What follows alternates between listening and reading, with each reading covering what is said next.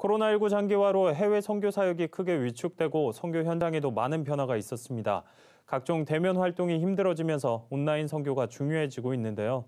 선교사들을 위한 온라인 활용 교육의 필요성이 커지고 있습니다. 최상경 기자의 보도입니다. 코로나19로 대면 활동에 제약이 많은 요즘 온라인이 선교의 새로운 활로가 되고 있습니다.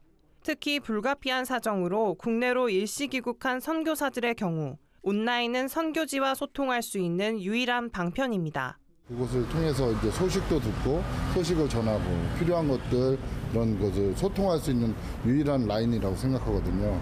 코로나19로 인해서 이제 만약 그 선교의 길이 많이 막힌 상태지만 그 우리가 멀리 떨어져 있어도 마음은 하나로 돼서 복음 전하는 데는 매우 필요하다고 생각을 합니다.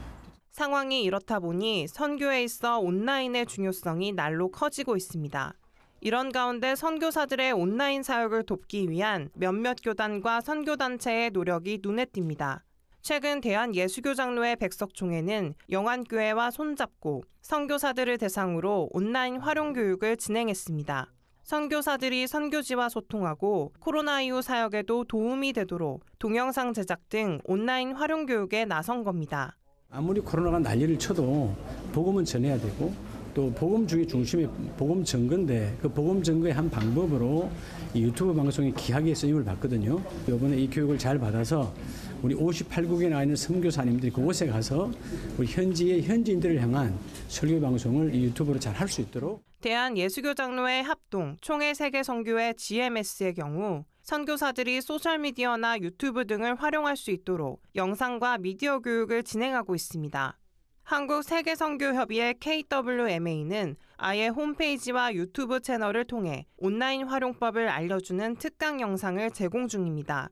누구나 손쉽게 배울 수 있게 접근성을 높여 선교사들로부터 호응이 높습니다.